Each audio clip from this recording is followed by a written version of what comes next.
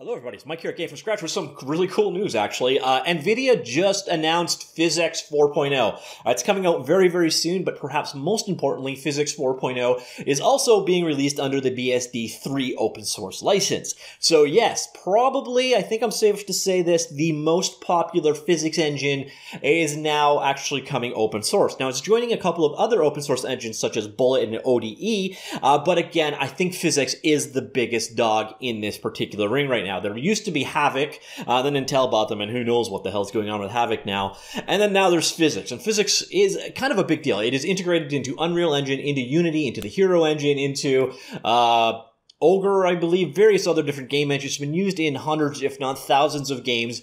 And this is what propels the physics calculations in a lot of your games.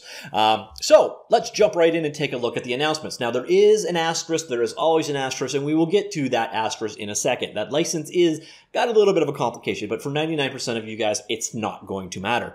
So what we can see here is NVIDIA is proud to announce that PhysX 4.0 available on December 20th, so not quite here as of yet. Uh, the engine has been upgraded to provide industrial grade simulation quality at game simulation performance, basically, so they're saying higher fidelity, but still real-time performance. Uh, in addition, PhysX SDK has gone open source, starting with, oh, today. Uh, so actually version 3.4 is now officially BSD 3, and the 4.0 release coming in December 20th will be as well. Uh, as you can see, available under three clause BSD license. This uh, access to the source code, developers can debug, customize, and extend the PhysX SDK as they see fit. And then, of course, we got some new features in PhysX 4 when it ships in a couple of weeks, including temporal Gauss-Seidel solver TGS, which makes machinery, character ragdolls, and anything else that is jointed or articulated much more robust. TGS dynamically recomputes constraints with each iteration based on body's relative motion. Overall stability improvements, uh, increased uh, scalability via new filtering rules for kinematics and statics, new bounding volume hierarchy supporting fast scene queries for actors with a huge number of shapes. Infrastructure can now incorporate CMake projects. Uh, BS3 now, here's the asterisk that I was mentioning earlier. So it is now open source. BSD3 licensed on Apple iOS, Apple macOS, Google Android, Linux, and Windows. So basically, all of the desktop and mobile platforms now have PhysX um, basically open source under the BSD3 license.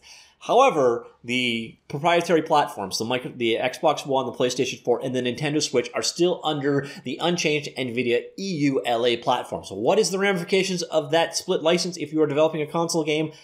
I don't know. I, I, actually I don't know what the NVIDIA ELU, EULA license actually stipulates for those pl- platforms.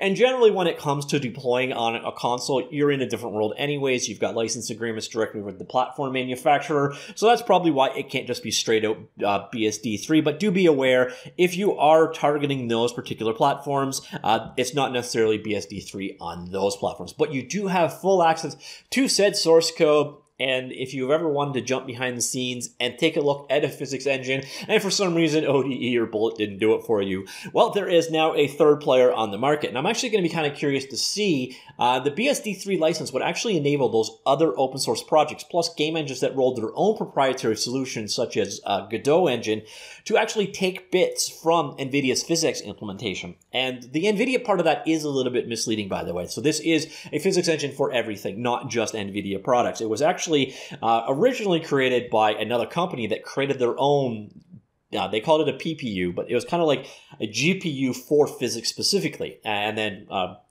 and then NVIDIA bought them, rolled it on, into their own product line, and obviously made it work with their GPUs. But uh, can work on non-NVIDIA products, so do be aware. Like if you're an AMD world, this isn't completely useless news to you. So if you are interested, you can go ahead and download the PhysX SDK 3.4 there. Uh, it is available over on GitHub. Uh, we will take a look over there. So as you can see, it is up there. It was just updated yesterday. Um, you can also get into, I believe the NVIDIA e, EULA is actually linked here somewhere. So if you are actually developing for con, uh, consoles and you need to know a little bit more about that, I think you can get that link here. Otherwise, you can go to, I believe it's developer.nvidia.com. Again, it's not going to affect 90% of people unless you're, you know, actually actively developing for consoles. That shouldn't be an issue for you.